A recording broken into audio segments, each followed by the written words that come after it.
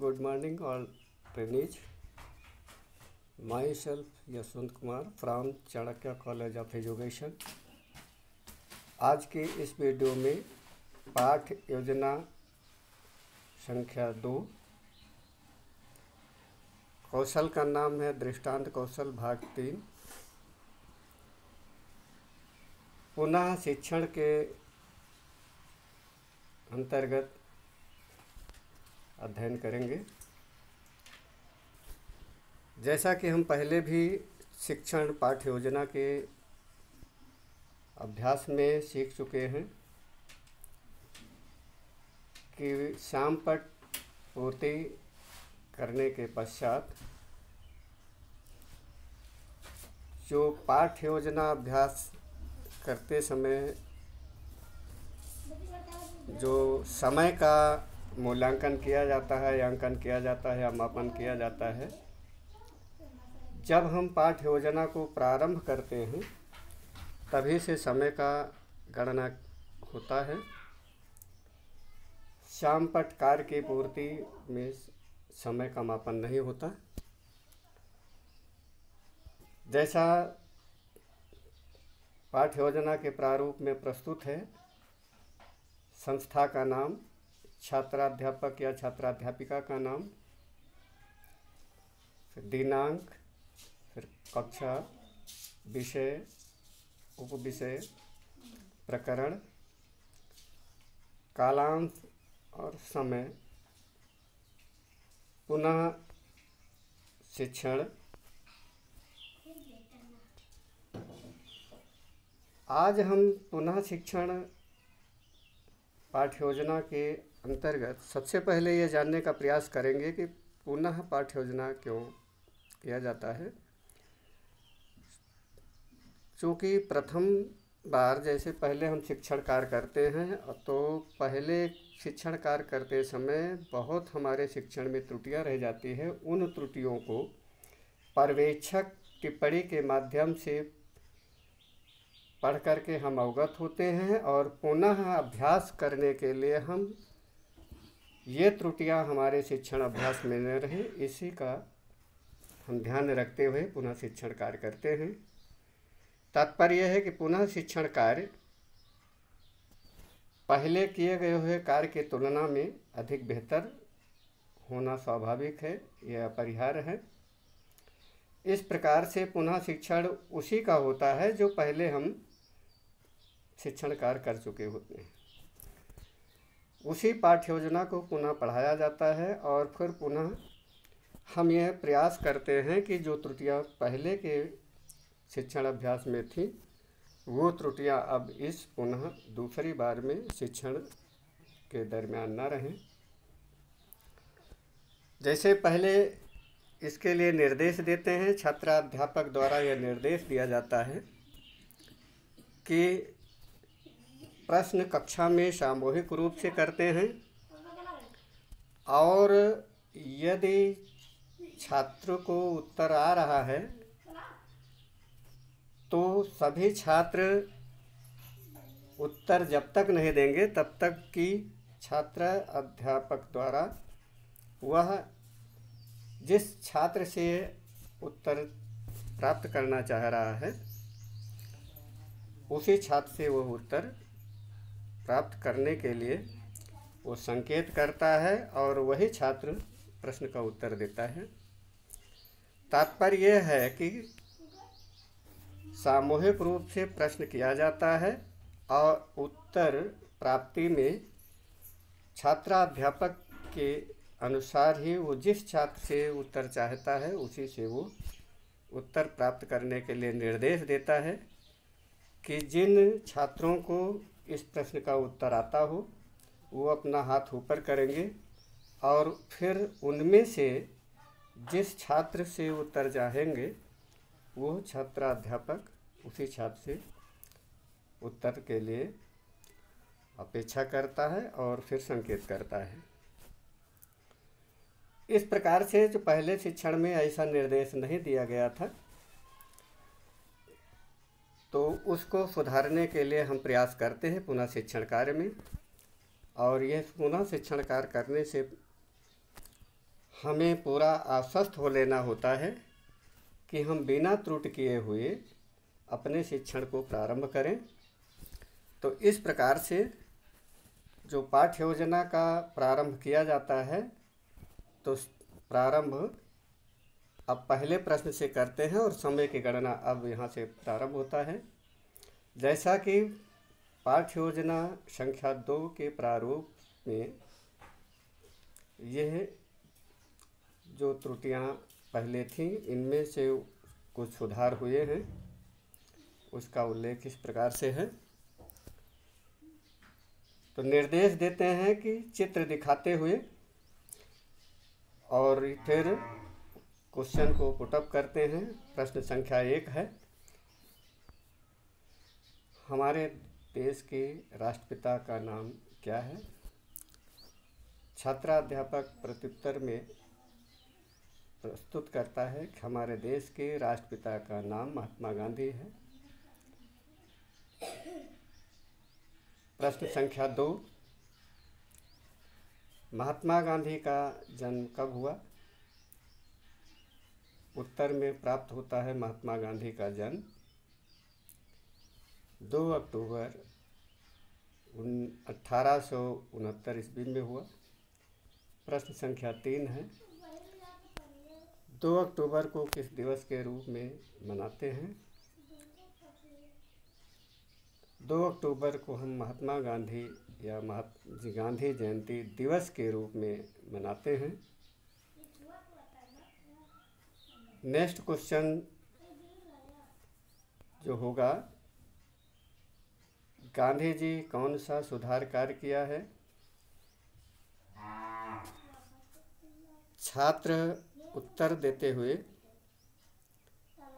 गांधी जी समाज सुधार कार्य किया है। नेक्स्ट क्वेश्चन है, सत्याग्रह आंदोलन कहाँ से शुरू किया गया?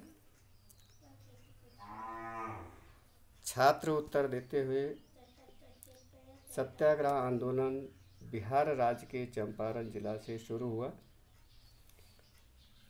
अंतिम प्रश्न होगा, गांधी जी के बारे में आप क्या जानते हैं? छात्र समस्यात्मक और मौन।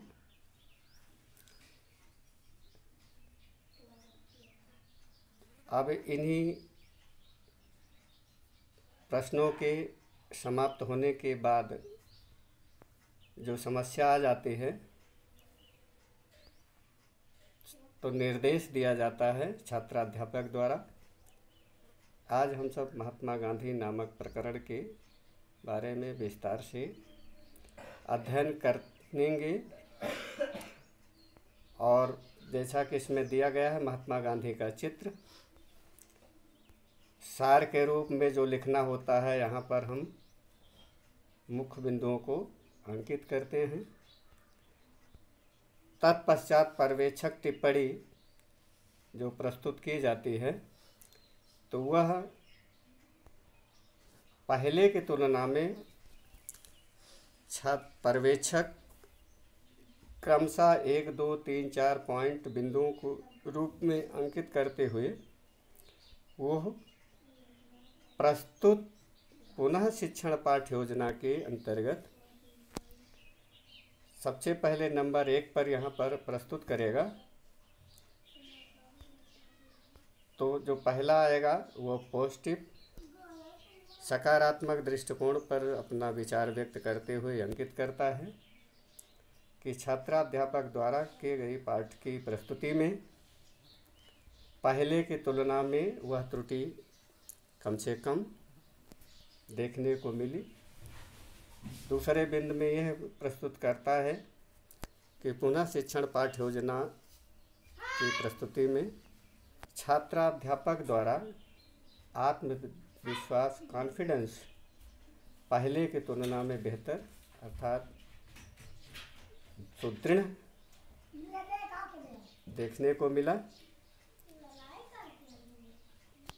तीसरे में भी कॉलम पर बिंदु पर अंकित करता है।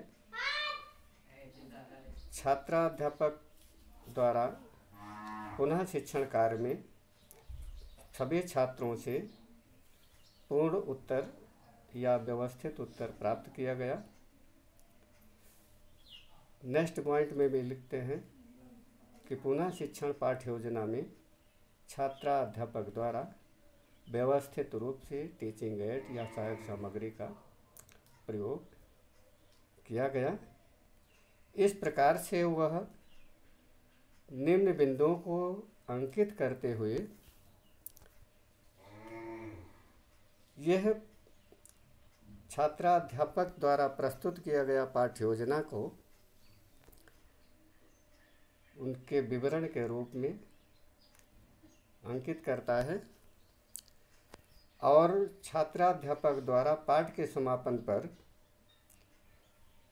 जो पर्यवेक्षक द्वारा टिप्पणी का अंकन किया गया है, उसका वह पुनः अध्ययन करता है और वह सेटिस्फाई होता है कि जो पाठ्य योजना में प्रस्तुति पहले की तुलना में रीटीचिंग में बेहतर प्रदर्शन रहा है, इससे उसे और अधिक अपने प्रोफेशन को सुदृढ़ करने के लिए, प्रभावशाली बनाने के लिए भी वह बार बार प्रयास करता रहता है और यह अभ्यास तब तक चलता रहता है जब तक कि उसके शिक्षण अभ्यास में कोई कमी न रह जाए, अर्थात त्रुटिपूर्ण, प्रभावशाली शिक्षण कर सके और स्वयं को एक कुशल शिक्षक के रूप में व्यवस्थित रूप से बना सके।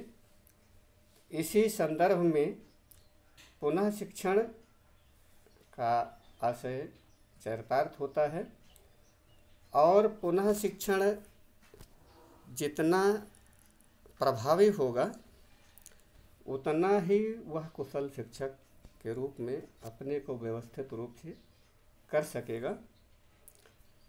इस प्रकार से जो हमारा शिक्षक वृत्तिक विकास है, वह अपने स्वयं का मूल्यांकन करते हुए आगे अपने व्यवसाय को कितना प्रभावी बना सकता है, यह स्वयं छात्राध्यापक के ऊपर ही निर्भर करता है।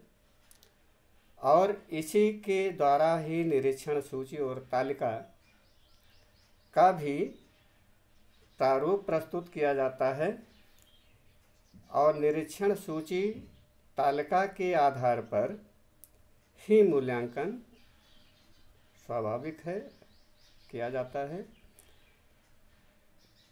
और सबसे पहले हम जो पर्यवेक्षण कार्य करते हैं तो पर्यवेक्षण का आधार जो होता है, वो पाठ योजना का जो हम कौन से कौशल का प्रारूप प्रस्तुत कर रहे हैं और उस कौशल का घटक क्या है? उस घटक के अनुरूप जो हमने ये प्रश्नों का समावेश किया है, निरूपण किया है, कितने घटकों को यह प्रश्न प्रभावित कर रहा है, संबंधित है, संबंध रख रहा है, यह निर्धारित करता है निरीक्षण तालिका। इस जो घटक या प्रश्न जितने घटकों को प्रभावित करता है, संबंध रखता है संबद्ध है, उतने ही अंग पर हम निरीक्षण तालिका में जो संकेत करते हैं और उसी के आधार पर हम ये आकलन करते हैं या मूल्यांकन करते हैं कि हमारा स्तर शिक्षण के रूप में कहाँ पर रहा है, कैसा रहा है। इस संदर्भ में हम निरीक्षण तालिका को आधार मानते हैं। और निरीक्षण तालिका का आधार जो होता है, वो पर्यवेक्षण की टिप्पणी होती है।